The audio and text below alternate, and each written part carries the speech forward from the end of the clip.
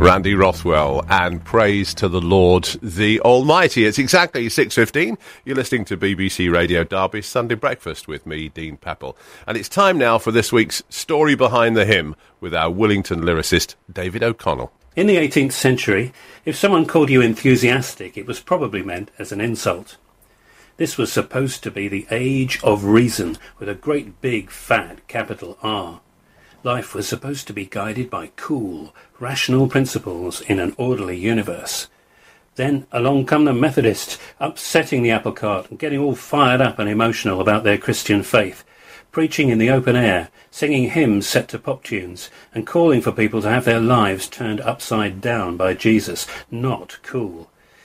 Today we're featuring one of Charles Wesley's most popular hymns, Jesus, Lover of My Soul.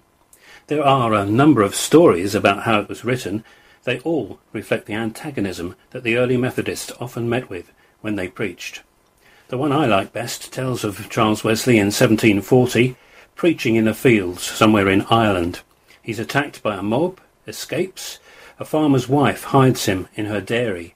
The mob comes knocking on the woman's door, and Charles climbs out the back window and hides under a hedge. While the woman pacifies the mob by inviting them in and giving them a snack, Wesley whiles away the time under the hedge by writing this hymn. The hymn is certainly charged with emotion, but in typical Methodist fashion is also strong on Christian doctrine. It's been sung to a number of melodies, but most often to the beautiful, haunting, rather melancholic tune written by Welshman Joseph Parry in 1879.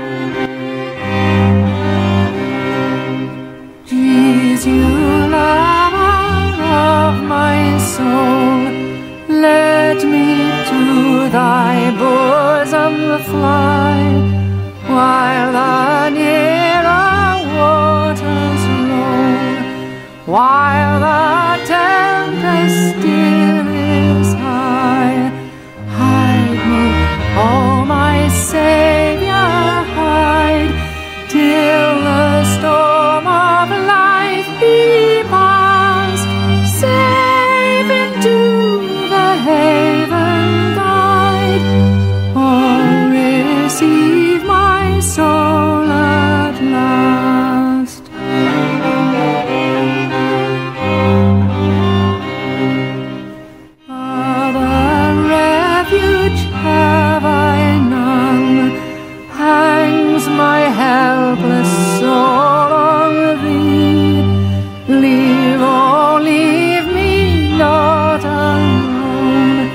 still support and comfort me. All my trust on thee is stayed, all my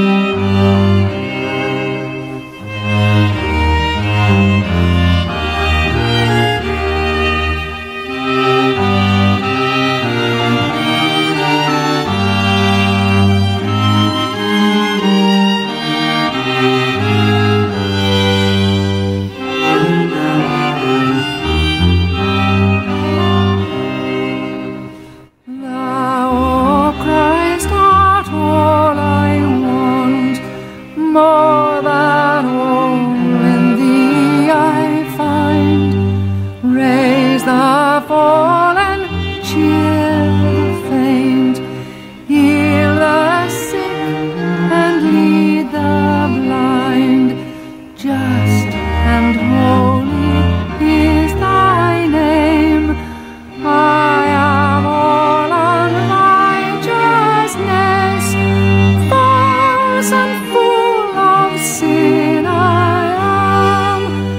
thou art full of truth and grace.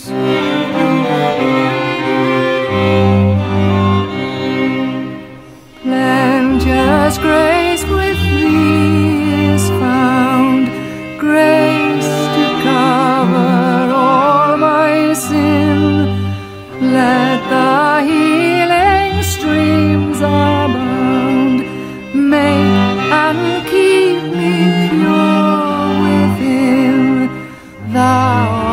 life.